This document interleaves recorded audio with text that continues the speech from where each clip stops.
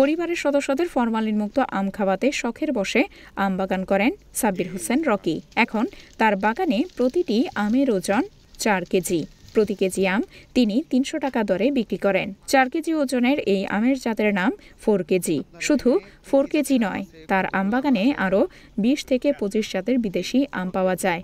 রকির বাগানের বিদেশি আমের মধ্যে কিং, চাকাপাত, চিয়াংমাই আমেরিকান রেড, পালমাল, কিউজাই বাড়ি চার বাড়ি এগারো four KG Gourmoti, banana, Alphonso, ডকমাই, Thai কাঁচা মিঠা কাটিমন উল্লেখযোগ্য।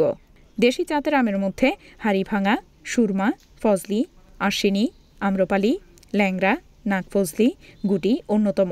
সাবির হোসেন রকি মুন্সীগঞ্জের টুঙ্গিবাড়ি উপজেলার দক্ষিণ বেতকা গ্রামের আব্দুল লতিফ শেখের ছেলে। পেশায় তিনি গার্মেন্টস ব্যবসায়ী। নারায়ণগঞ্জে রয়েছে তার ব্যবসা প্রতিষ্ঠান।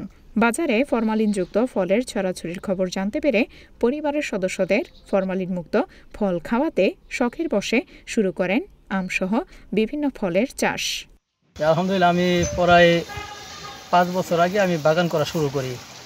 আসলে যখনই বাজারে আপনার ফরমালিনের কাজটা ফলাপ করছে, যে প্রত্যেকটা ফলের ভিতরে ফরমালিন দেওয়া হইতেছে, তখন থেকে বাজার থেকে ফল কিনা বন্ধ করে দিলাম।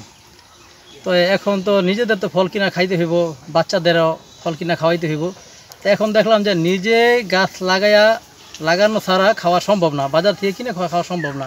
তো প্রথম তো ওই সময় দেখা গেছে যে আপনার প্রায় বিশ পঁচিশ শতাংশ জায়গার ভিতরে অল্প পরিসরে একটু শুরু করি যাতে নিজেরা খাওয়ার জন্য। তারপরে সেটা আস্তে আস্তে পড়াই আমার ওই তিন কানির মতো মনে করেন যে জায়গার ভিতরে প্রায় চারশো গাছের উপরে। আপনার বর্তমানে আমার চারা গাছ আছে। প্রায় চার শতাধিক গাছের ভিতরে আমার ফল এখন বর্তমানে গাছের মধ্যে আছে। এখন দেখি যে আর কি ই করার পরে যে আসলে নিজে এখন তো সব জায়গায় ফরমালিন যুক্ত আম। যাতে কি করে একভাবে আমার আশপাশের সাথী ইয়ারা যারা প্রতিবেশী যারা আছে এবং ঢাকা শহরে যা শহর অঞ্চলে যারা আছে তারা কীভাবে এরকমভাবে আপনার ফরমালিন মুক্ত আম খাইতে পারে সেই জন্য আমি উদ্বুদ্ধ হয়ে আস্তে আস্তে কী করলাম যে ওইটা নিজের খাওয়ার পাশাপাশি এটা যাতে ব্যবসায়িকভাবে এরকমভাবে বড় পরিসরে আস্তে আস্তে চালু করলাম। তো এখন দিয়ে চালু করার পরে আলহামদুলিল্লাহ মোটামুটি সব যেমন ঢাকা নারায়ণগঞ্জ থেকে আমার ওখানে আমার বেশিরভাগ আমি চলে যায় আপনার ঢাকা নারায়ণগঞ্জ থেকে। এই অনেকদিন যাবৎ শুনতেছিলাম যে এখানে একটা আমের বাগান আছে।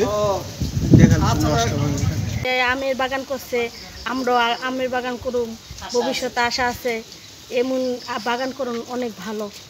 দেখতে ওই কিনা কিনা আমেতে এমন গাছের আম খাওয়ার ভালো। ফরমারি ছাড়া অনেক ভালো।